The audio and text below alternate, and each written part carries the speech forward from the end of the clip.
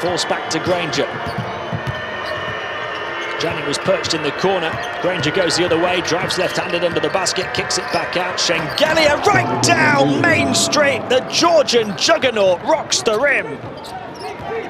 Toko Shengelia taking off for the big finish.